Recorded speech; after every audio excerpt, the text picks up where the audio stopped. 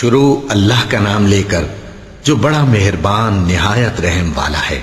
اور جب تم اس شخص سے جس پر اللہ نے احسان کیا تھا اور تم نے بھی احسان کیا تھا، یہ کہتے تھے کہ اپنی بیوی کو اپنے پاس رہنے دے اور اللہ سے ڈر۔ اور تم اپنے دل میں وہ بات چھپا رہے تھے جس کو اللہ ظاہر کرنے والا تھا۔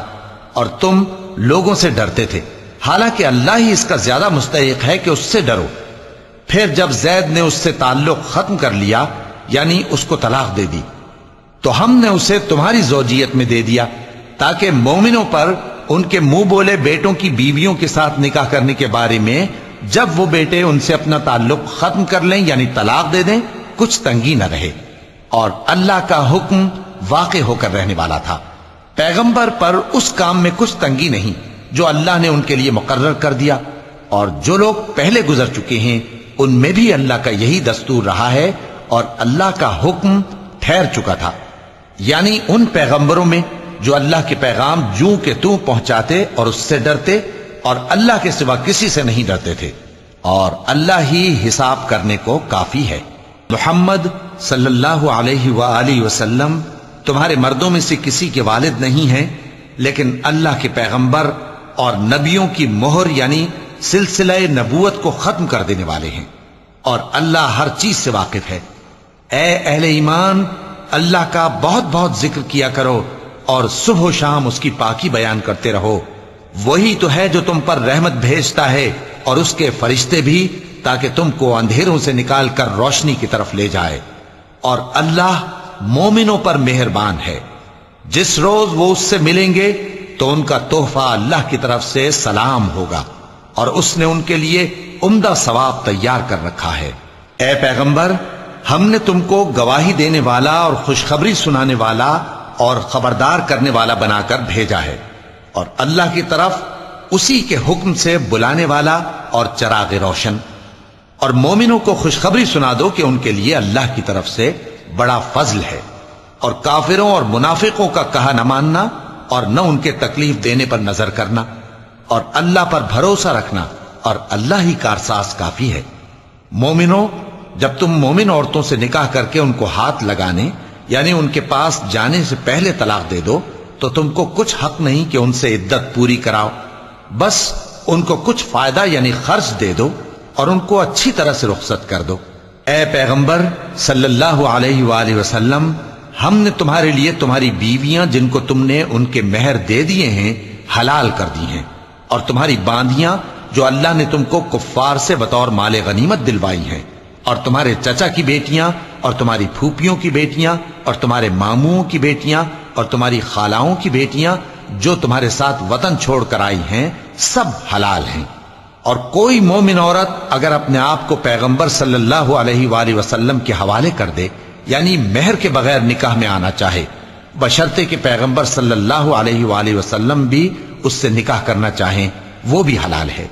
لیکن یہ اجازت اے نبی صلی اللہ علیہ وآلہ وسلم خاص تم ہی کو ہے، سب مسلمانوں کو نہیں۔ ہم نے ان کی بیویوں اور باندیوں کے بارے میں جو مہر واجب الادا مقرر کر دیا ہے، ہم کو معلوم ہے۔ یہ اس لیے کیا گیا ہے کہ تم پر کسی طرح کی تنگی نہ رہے۔ اور اللہ بخشنے والا ہے، مہربان ہے۔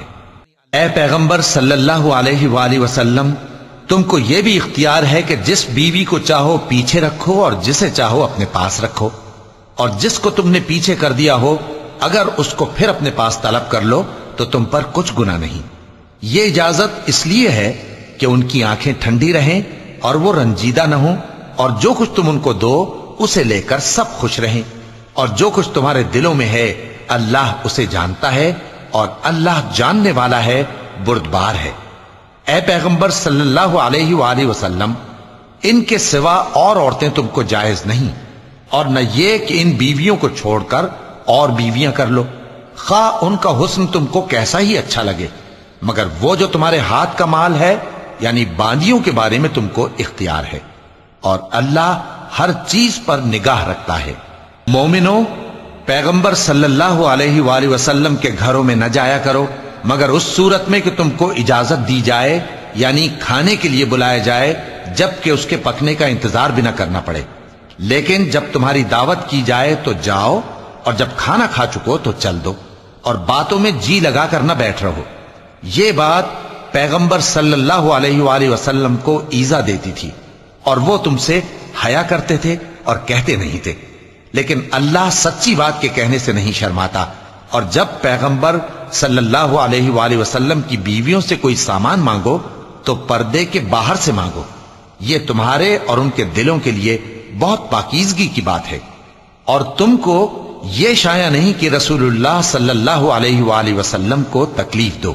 اور نہ یہ کہ ان کی بیویوں سے کبھی ان کے بعد نکاح کرو۔ بے شک یہ اللہ کے نزدیک بڑا گناہ کا کام ہے۔ اگر تم کسی چیز کو ظاہر کرو یا اس کو مخفی رکھو تو یاد رکھو کہ اللہ ہر چیز سے باخبر ہے۔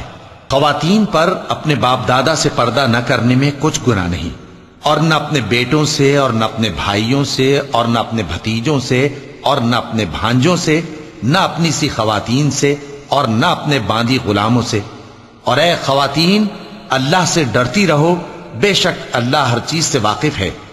اللہ اور اس کے فرشتے اس پیغمبر صلی اللہ علیہ وآلہ وسلم پر درود بھیجتے ہیں۔ مومنو، تم بھی ان پر درود بھیجو اور خوب سلام بھیجا کرو۔ جو لوگ اللہ اور اس کے پیغمبر صلی اللہ علیہ وآلہ وسلم کو اذیت پہنچاتے ہیں، ان پر اللہ دنیا اور آخرت میں لانت کرتا ہے اور ان کے لیے اس نے ذلیل کرنے والا عذاب تیار کر رکھا ہے۔ اور جو لوگ مومن مردوں اور مومن عورتوں کو ایسے کام کی تہمت سے جو انہوں نے نہ کیا ہو ایزا دیں، تو انہوں نے بہتان کا اور کھلے گناہ کا بوجھ اپنے سر پر رکھا۔ اے پیغمبر صلی اللہ علیہ وآلہ وسلم، اپنی بیویوں اور بیٹیوں اور مسلمانوں کی عورتوں سے کہہ دو کہ باہر نکلا کریں تو اپنے چہروں پر چادر لٹکا کر گھونگھٹ نکال لیا کریں۔ یہ چیز ان کے لیے موجب شناخت تو امتیاز ہوگی تو کوئی ان کو ایزا نہ دے گا۔ اور اللہ بخشنے والا ہے، مہربان ہے۔ اگر منافق اور وہ لوگ جن کے دلوں میں روگ ہے اور جو مدینے کے شہر میں بری بری خبریں اڑایا کرتے ہیں اپنی حرکتوں سے باز نہ آئیں گے، تو ہم تم کو ان کے پیچھے لگا دیں گے، پھر وہ تمہارے پڑوس میں نہ رہ سکیں گے مگر تھوڑے دن۔ وہ بھی پھٹکارے ہوئے، جہاں پائے گئے پکڑے گئے اور جان سے مار ڈالے گئے۔ جو لوگ پہلے گزر چکے ہیں، ان کے بارے میں بھی اللہ کی یہی عادت رہی ہے۔ اور تم اللہ کی عادت میں تغیر و تبدل نہ پاؤ گے۔ لوگ تم سے قیامت کی نسبت دریافت کرتے ہیں کہ کب آئے گی۔ کہہ دو کہ اس کا علم اللہ ہی کو ہے اور تمہیں کیا پتا؟ ہو سکتا ہے قیامت قریب ہی آ گئی ہو۔ بے شک اللہ نے کافروں پر لانت کی ہے اور ان کے لیے جہنم کی آگ تیار کر رکھی ہے۔ اس میں وہ ہمیشہ ہمیشہ رہیں گے، نہ کسی کو دوست پائیں گے اور نہ مددگار۔ جس دن ان کے چہرے آگ میں الٹ پلٹ کیے جائیں گے تو کہیں گے، اے کاش، ہم اللہ کی فرما برداری کرتے اور رسول صلی اللہ علیہ وآلہ وسلم کا حکم مانتے اور کہیں گے کہ اے ہمارے پروردگار، ہم نے اپنے سرداروں اور بڑوں کا کہا مانا تو انہوں نے ہم کو رستے سے بھٹکا دیا۔ اے ہمارے پروردگار، ان کو دگنا عذاب دے اور ان پر بڑی لانت کر۔ مومنو، تم ان لوگوں جیسے نہ ہونا جنہوں نے موسا کو عیب لگا کر رنج پہنچایا، تو اللہ نے ان کو بے عیب ثابت کر دیا اور وہ اللہ کے نزدیک آبرو والے تھے۔ مومنو، اللہ سے ڈرا کرو اور بات سیدھی کہا کرو، وہ تمہارے سب کام سنوار دے گا اور تمہارے گناہ بخش دے گا، اور جو شخص اللہ اور اس کے رسول صلی اللہ علیہ وآلہ وسلم کی فرماورداری کرے گا، تو بے شک بڑی مراد پائے گا۔ ہم نے بار امانت کو آسمانوں اور زمین اور پہاڑوں پر پیش کیا تو انہوں نے اس کے اٹھانے سے انکار کیا اور اس سے ڈر گئے۔ اور انسان نے اس کو اٹھا لیا، بے شک وہ بڑا ظالم، بڑا جاہل ہے۔ تاکہ اللہ منافق مردوں اور منافق عورتوں اور مشرق مردوں اور مشرق عورتوں کو عذاب دے اور اللہ مومن مردوں اور مومن عورتوں پر مہربانی کرے اور اللہ تو بخشنے والا ہے، مہربان ہے۔ شروع اللہ کا نام لے کر، جو بڑا مہربان، نہایت رحم والا ہے۔ سب تعریف اللہ ہی کے لیے ہے، جو سب چیزوں کا مالک ہے یعنی وہ کہ جو کچھ آسمانوں میں ہے اور جو کچھ زمین میں ہے، سب اسی کا ہے۔ اور آخرت میں بھی اسی کی تعریف ہے اور وہ حکمت والا ہے، خبردار ہے۔ جو کچھ زمین میں داخل ہوتا ہے اور جو اس میں سے نکلتا ہے، اور جو آسمان سے اترتا ہے اور جو اس پر چڑھتا ہے، سب اس کو معلوم ہے۔ اور وہ مہربان ہے، بخشنے والا ہے۔ اور کافر کہتے ہیں کہ قیامت کی گھڑی ہم پر نہیں آئے گی۔ کہہ دو، کیوں نہیں آئے گی؟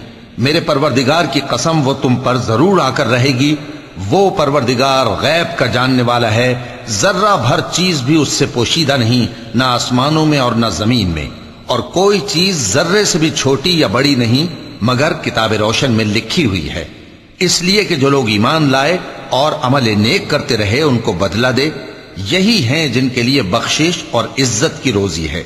اور جنہوں نے ہماری آیتوں کے بارے میں ہمیں ہرانے کی کوشش کی، ان کے لیے سخت درد دینے والے عذاب کی سزا ہے۔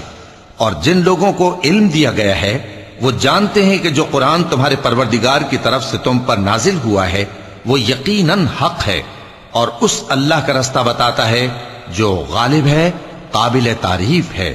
اور کافر کہتے ہیں کہ بھلا ہم تمہیں ایسا آدمی بتائیں جو تمہیں خبر دیتا ہے کہ جب تم مر کر بالکل ریزہ ریزہ ہو جاؤ گے تو تم نئے سرے سے پیدا ہوگے۔ یا تو اس نے اللہ پر جھوٹ باندھ لیا ہے، یا اسے جنون ہے۔ بات یہ ہے کہ جو لوگ آخرت پر ایمان نہیں رکھتے، وہ آفت اور پرلے درجے کی گمراہی میں پڑے ہیں۔ کیا انہوں نے اس کو نہیں دیکھا جو ان کے آگے اور پیچھے ہے یعنی آسمان اور زمین؟ اگر ہم چاہیں تو ان کو زمین میں دھسا دیں یا ان پر آسمان کے ٹکڑے گرا دیں۔ اس میں ہر بندے کے لیے جو رجوع کرنے والا ہے، ایک نشانی ہے۔ اور ہم نے داؤد کو اپنی طرف سے برتری بخشی تھی اور کہا تھا، اے پہاڑوں، ان کے ساتھ تسبیح کرو۔ اور پرندوں کو ان کا مسخر کر دیا اور ان کے لیے ہم نے لوہے کو نرم کر دیا کہ کشادہ زرہیں بناؤ اور کڑیوں کو اندازے سے جوڑو اور نیک عمل کرو، جو عمل تم کرتے ہو میں ان کو دیکھنے والا ہوں۔ اور ہوا کو ہم نے سلیمان کے تابع کر دیا تھا، اس کی صبح کی منزل ایک مہینے کی راہ ہوتی اور شام کی منزل بھی مہینے بھر کی ہوتی۔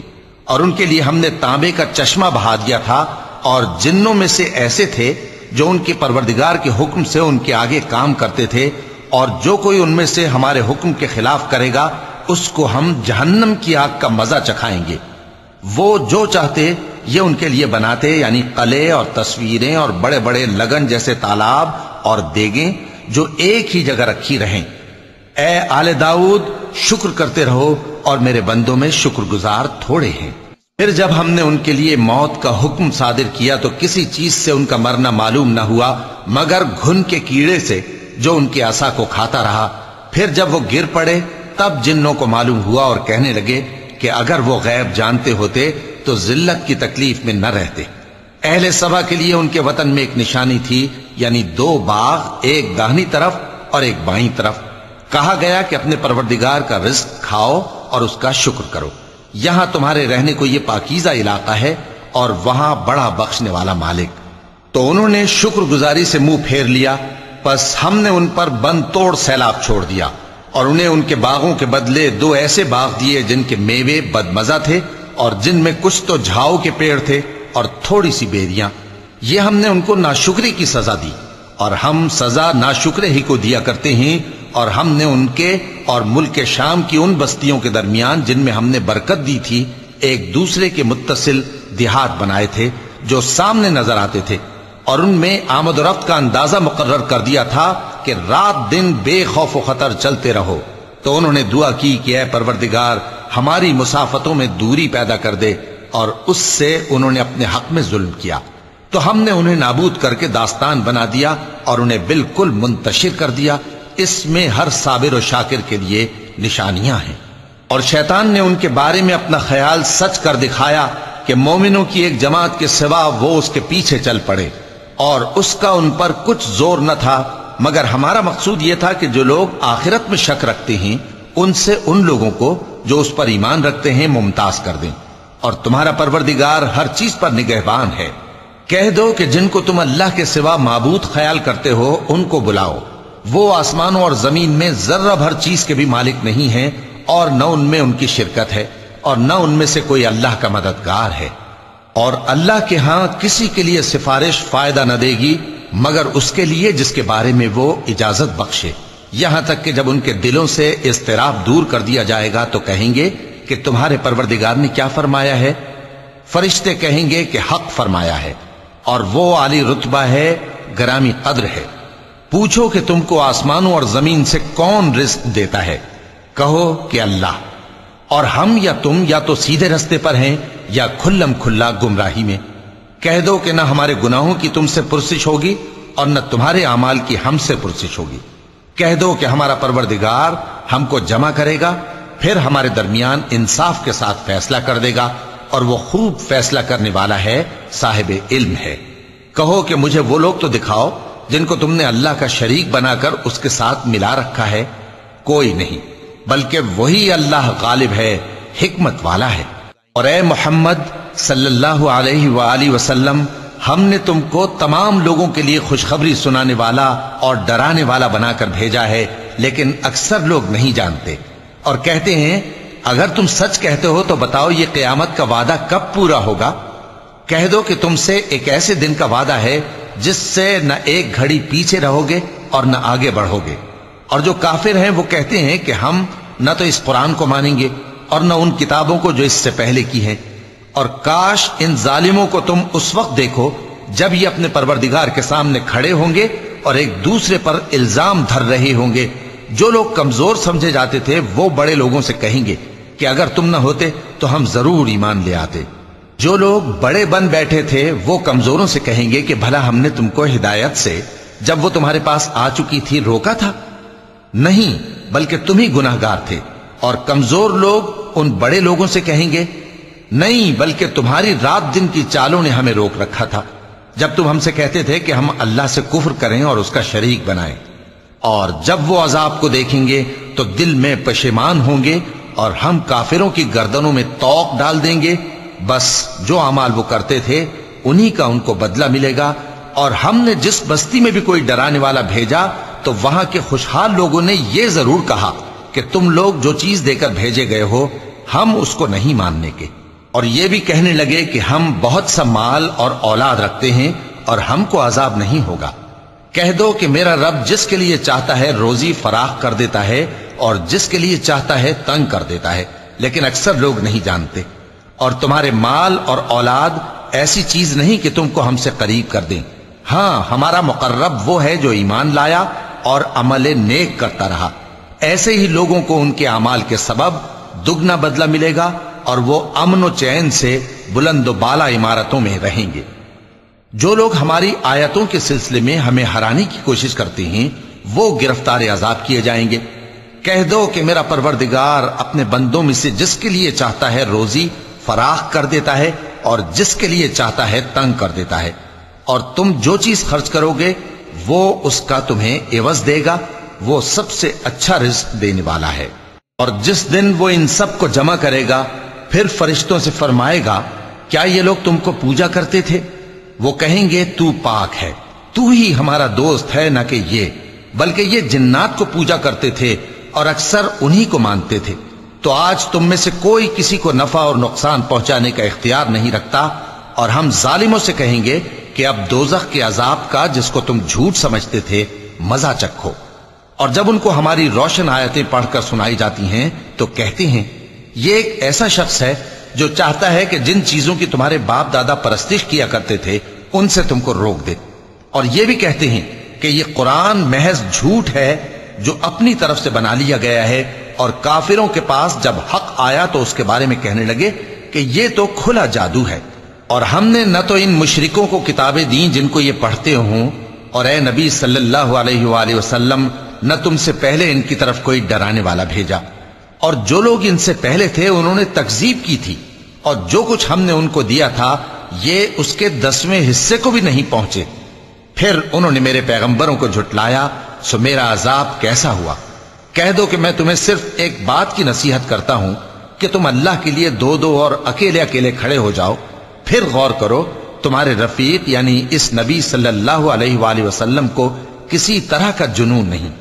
یہ تو تم کو سخت عذاب کے آنے سے پہلے ڈرانے والے ہیں۔ کہہ دو کہ میں نے تم سے کچھ سلا مانگا ہو تو وہ تمہارا، میرا سلا اللہ ہی کے ذمے ہے اور وہ ہر چیز سے خبردار ہے۔ کہہ دو کہ میرا پروردگار اوپر سے حق ہی نازل کرتا ہے اور وہ غیب کی باتوں کا جاننے والا ہے۔ کہہ دو کہ حق آ چکا اور باطل نہ تو پہلے کچھ کر سکتا ہے اور نہ دوبارہ کچھ کرے گا۔ کہہ دو کہ اگر میں گمراہ ہوں تو میری گمراہی کا ضرر مجھی کو ہے اور اگر ہدایت پر ہوں تو یہ اس وہی کے توفیل ہے جو میرا پروردگار میری طرف بھیجتا ہے۔ بے شک وہ سننے والا ہے، نزدیک ہے۔ اور کاش تم دیکھو، جب یہ گھبرا جائیں گے تو عذاب سے بچ نہیں سکیں گے اور نزدیک ہی سے پکڑ لیے جائیں گے اور کہیں گے کہ ہم اس پر ایمان لے آئے۔ اور اب اتنی دور سے ان کا ہاتھ ایمان کے لینے کو کیسے پہنچ سکتا ہے؟ جبکہ پہلے تو اس کا انکار کرتے رہے اور بن دیکھے دور ہی سے اٹکل کے تیر چلاتے رہے۔ اور ان میں اور ان کی خواہشوں میں پردہ حائل کر دیا گیا، جیسا کہ پہلے ان کے ہم جنسوں سے کیا گیا۔ وہ بھی الجھن میں ڈالنے والے شک میں پڑے ہوئے تھے۔ شروع اللہ کا نام لے کر، جو بڑا مہربان، نہایت رحم والا ہے۔ سب تعریف اللہ ہی کے لیے ہے جو آسمانوں اور زمین کا پیدا کرنے والا اور فرشتوں کو قاصد بنانے والا ہے۔ جن کے دو دو اور تین تین اور چار چار پر ہیں، وہ اپنی مخلوقات میں جو چاہتا ہے بڑھاتا ہے۔ بے شک اللہ ہر چیز پر قادر ہے۔ اللہ جو لوگوں کے لیے اپنی رحمت کا دروازہ کھول دے تو کوئی اس کو بند کرنے والا نہیں اور جو بند کر دے تو اس کے بعد کوئی اس کو کھولنے والا نہیں اور وہ غالب ہے، حکمت والا ہے۔ لوگو، اللہ کے جو تم پر احسانات ہیں، ان کو یاد کرو۔ کیا اللہ کے سوا کوئی اور خالق اور رازق ہے جو تم کو آسمان اور زمین سے رزق دے؟ اس کے سوا کوئی معبود نہیں۔ پس تم کیسے الٹائے جاتے ہو؟ اور اے پیغمبر، اگر یہ لوگ تم کو جھٹلائیں تو تم سے پہلے بھی پیغمبر جھٹلائے گئے ہیں۔ اور سب کام اللہ ہی کی طرف لوٹائے جائیں گے۔ لوگو، اللہ کا وعدہ سچا ہے تو تم کو دنیا کی زندگی دھوکے میں نہ ڈال دے اور نہ بڑا فریبی یعنی شیطان تمہیں اللہ کے نام سے فریب دے۔ شیطان تمہارا دشمن ہے، تم بھی اسے دشمن ہی سمجھو۔ وہ اپنے پیروں کے گروہ کو بلاتا ہے تاکہ وہ دوزخ والوں میں ہو جائیں۔ جنہوں نے کفر کیا ان کے لیے سخت عذاب ہے اور جو ایمان لائے اور عمل نیک کرتے رہے ان کے لیے بخشش اور بڑا ثواب ہے۔ بھلا جس شخص کو اس کے اعمال بد آراستہ کر کے دکھائے جائیں اور وہ ان کو عمدہ سمجھنے لگے، تو کیا وہ نیکوکار آدمی جیسا ہو سکتا ہے؟ بے شک اللہ جس کو چاہتا ہے گمراہ رہنے دیتا ہے اور جس کو چاہتا ہے ہدایت دیتا ہے۔ تو ان لوگوں پر افسوس کر کر کے تمہارا دم نہ نکل جائے۔ یہ جو کچھ کرتے ہیں، اللہ اس سے واقف ہے۔ اور اللہ ہی تو ہے جو ہوائیں چلاتا ہے، پھر وہ بادل کو ابھارتی ہیں۔ پھر ہم ان کو ایک بے جان علاقے کی طرف لے جاتے ہیں، پھر اس سے یعنی بارش سے زمین کو اس کے مردہ ہو جانے کے بعد زندہ کر دیتے ہیں۔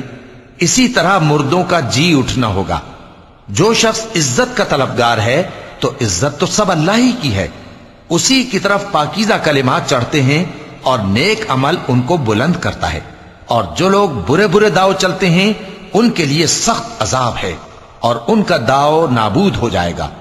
اور اللہ ہی نے تم کو مٹی سے پیدا کیا، پھر نطفے سے، پھر تم کو جوڑا جوڑا بنا دیا، اور کوئی عورت نہ حاملہ ہوتی ہے اور نہ جنتی ہے، مگر یہ سب کچھ اس کے علم سے ہوتا ہے۔ اور نہ کسی بڑی عمر والے کو عمر زیادہ دی جاتی ہے اور نہ اس کی عمر کم کی جاتی ہے۔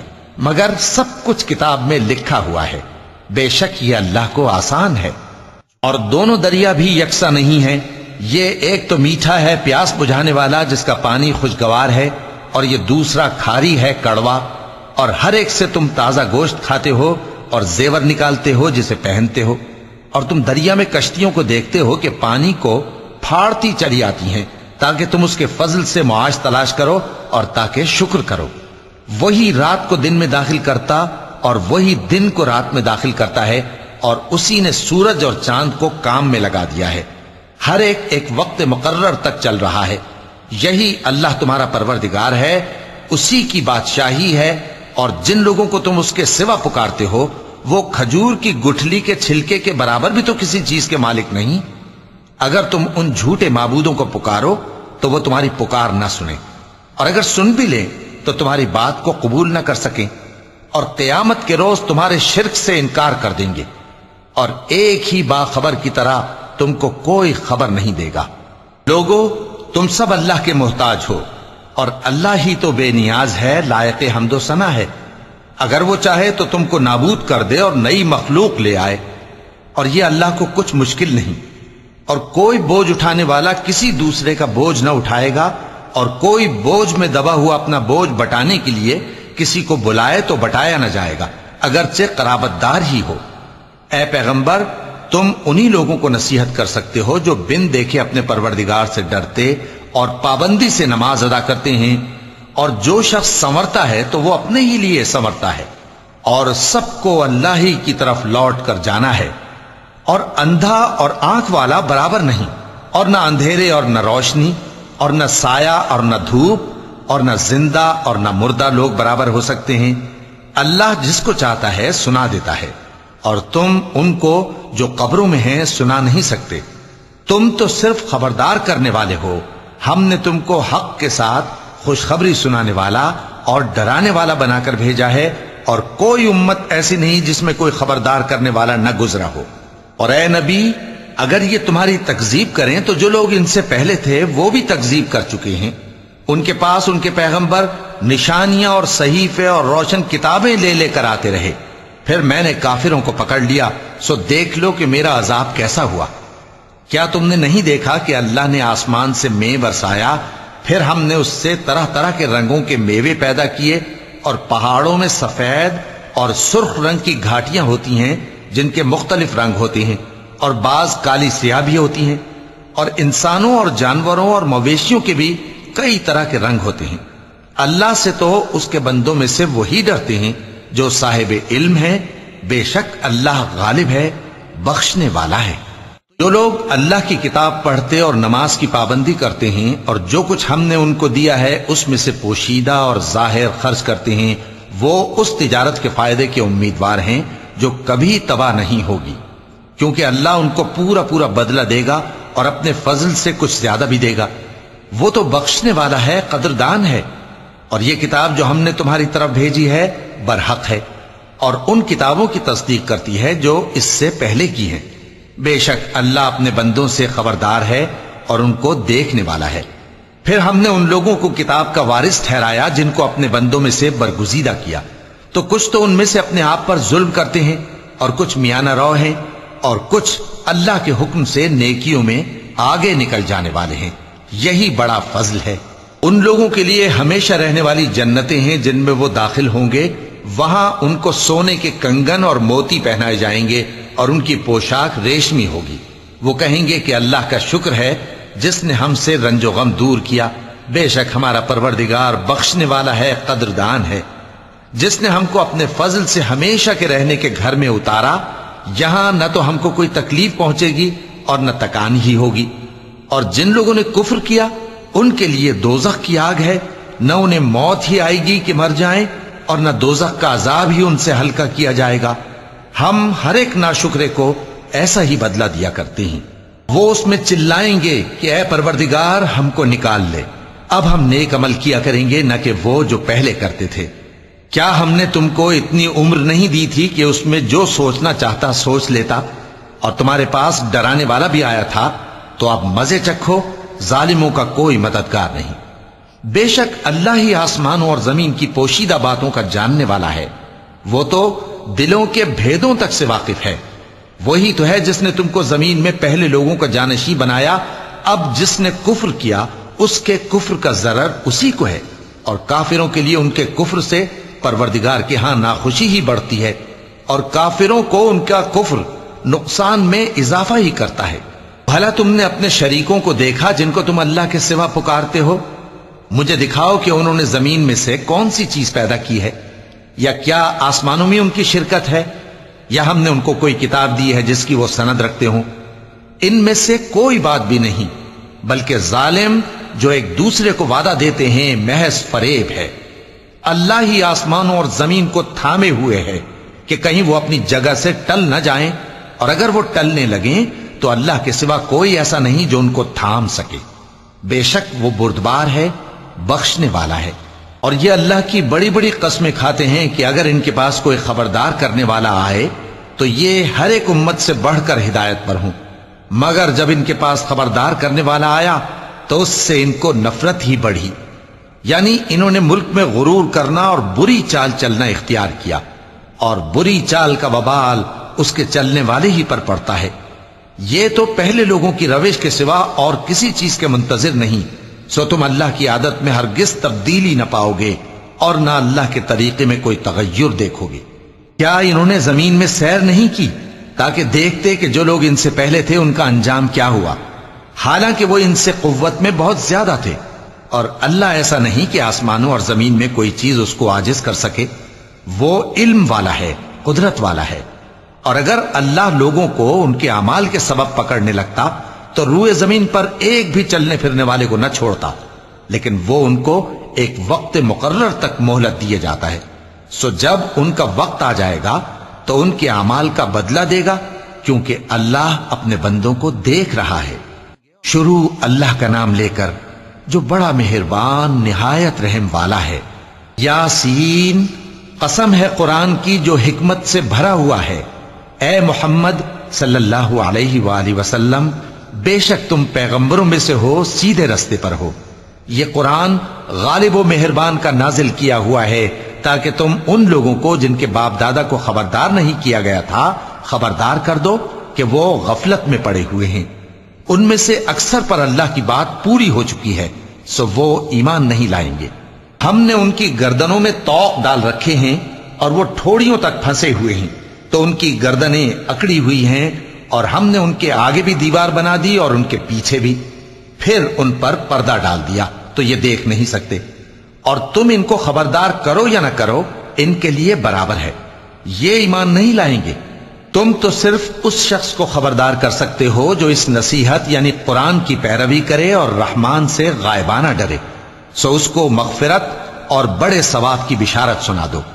بے شک ہم مردوں کو زندہ کریں گے اور جو کچھ وہ آگے بھیج چکے اور جو ان کے نشان پیچھے رہ گئے، ہم ان کو قلم بند کر لیتے ہیں اور ہر چیز کو ہم نے کتاب روشن یعنی لوح محفوظ میں لکھ رکھا ہے۔ اور ان سے گاؤں والوں کا قصہ بیان کرو جب ان کے پاس پیغمبر آئے۔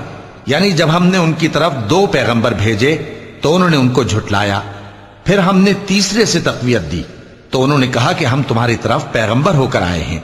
وہ بولے کہ تم اور کچھ نہیں، مگر ہماری طرح کے آدمی ہو۔ اور رحمان نے کوئی چیز بھی نازل نہیں کی۔ تم محض جھوٹ بولتے ہو۔ انہوں نے کہا کہ ہمارا پروردگار جانتا ہے کہ ہم تمہاری طرف پیغام دے کر بھیجے گئے ہیں اور ہمارے ذمے تو صاف صاف پیغام پہنچا دینا ہے اور بس۔ وہ بولے کہ ہم تم کو اپنے لیے منحوس سمجھتے ہیں۔ اگر تم باز نہ آؤ گے تو ہم تمہیں سنسار کر دیں گے اور تم کو ہم سے دکھ دینے والا عذاب پہنچے گا۔ انہوں نے کہا کہ تمہاری نحوست تمہارے ساتھ ہے۔ کیا اس لیے کہ تم کو نصیحت کی گئی؟ نہیں، بلکہ تم ایسے لوگ ہو جو حد سے تجاوز کر گئے ہو۔ اور شہر کے پرلے کنارے سے ایک آدمی دوڑتا ہوا آیا۔